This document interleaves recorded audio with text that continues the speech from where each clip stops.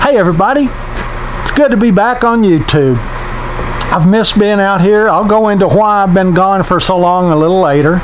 Appreciate all the emails and the text and the messages saying, Are you okay? Where you been? Miss your videos. And uh, I appreciate that. It means a lot. Um, we'll go into all that a little later. But I, I started building, or I have this idea that I want to build a whirligig and I want to make it like a Spitfire World War II aircraft. So I said, okay, how big do I want to make this thing? So I know how long I want to make the fuselage, but then all the other ratios come into play. How big is the wing? How big is the horizontal stabilizer, etc. So I found a three view drawing. You can go out and search the internet and you can find three view drawings for all the World War II aircrafts. And I'll show you how I go about dimensioning, setting up ratios. And keep in mind, you can do this with furniture too. I've done it, I found a table or a bookcase in, in a in an IKEA magazine or whatever, uh, a Woodsmith magazine maybe, and and sometimes you want to know well, what's this dimension? If that well just measure it off. Get one good measurement and then set up some ratios. Do a little math. And you can scale almost any project. Now let me show you how I'm, I scaled this Spitfire drawing. In today's video I'm going to show you how to determine some dimensions. If all you've got is a drawing, or you can do this from a photograph, but all you have to do is determine really one dimension or two dimensions. For instance, I want to make a whirligig that looks like a Spitfire airplane. And I found this photograph or drawing on the internet, and, and so I just measured it up. The wing length is six inches, the tail length is one and three quarter inches. The fuselage is five inches long. So if I wanted to make this fuselage for this whirligig, say 15 inches long, all I need to do is set up a ratio between this 5 inches and this 6 inches. So once we have these known ratios, if I want to make this fuselage, say I want to make it 14 and a half inches long, if I know that's how long I want the fuselage. So how long do I then want to make the wing? Well, when you take six and 5 of this drawing, 6 divided by, uh, by 5, is about 1.2. So I can say that this wing is about 1.2 times the length of the fuselage.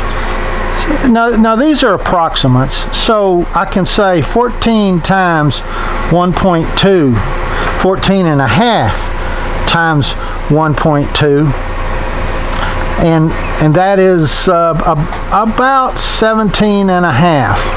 So if I make the fuselage 14 and a half inches, and to keep the ratio between the two about right, I'll make the wing 17 and a half. And in the same fashion, well then how long do I need to make the tail or the horizontal stabilizer? Well, we've got the same thing. We've got we've got uh, 1.75 is the length of this one, and the length of this one is six. Well, when you divide that out, that comes out to be about about 0.29. So this wing or this horizontal stabilizer is 29% the length of this. So remember, we calculated here, so if we go 17 and a half times 29%, let's see what we come up with on that one.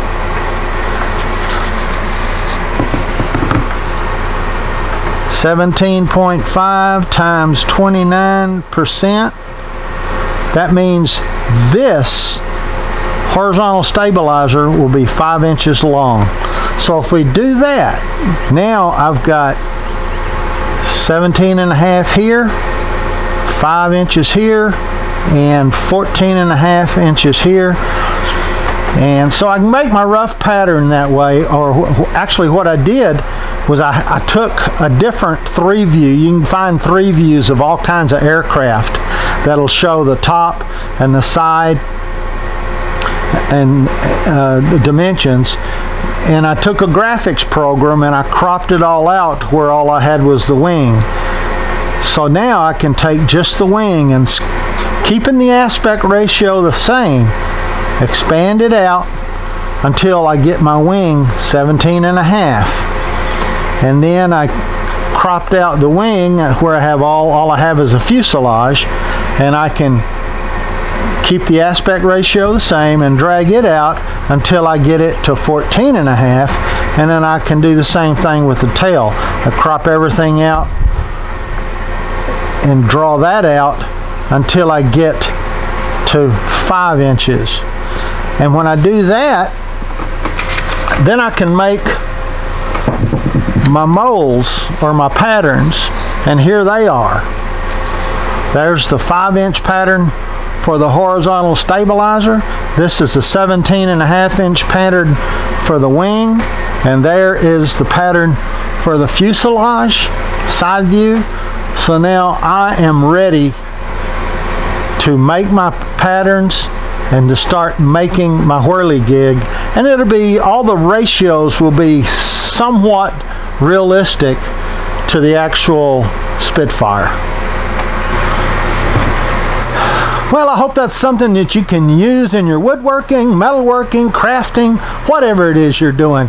And you can do the same thing with a photograph from Woodsmith or IKEA. You find a bookcase or a table. Uh, you can set up one dimension and just measure that picture. Make your notes, set up your ratios, and you can find out uh, within reason it's what your dimensions that you want to make something and there's always that golden ratio 1.668 or whatever that is.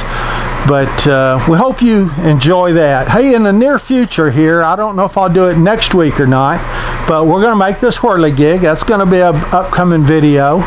I'm going to give you a shop tour. Yeah i've been in my shop two years now uh, well, I've had my shop two years. I've actually only been working about a year. As you know, I've been gone, and there's some reasons we'll go into.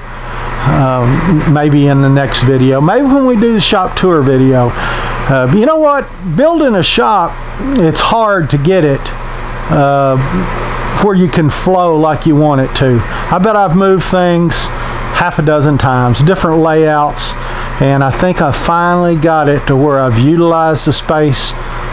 All my tools can be accessed. I've still got floor space and uh, I think I've finally got it to where uh, I'm going to enjoy it. So thanks again for all your uh, emails and calls and messages. I really appreciate them. We hope that you tell everybody I'm back and uh, the videos may not be weekly, but I'll try to get them uh, maybe twice a month, maybe a week. Who knows? It just depends. Main thing I want you to do though is during this time, this is a crazy time of the world, is everybody be safe. Right now, it's uh, in, Texas, we've got a shelter in place order till May the 20th, where I live anyway.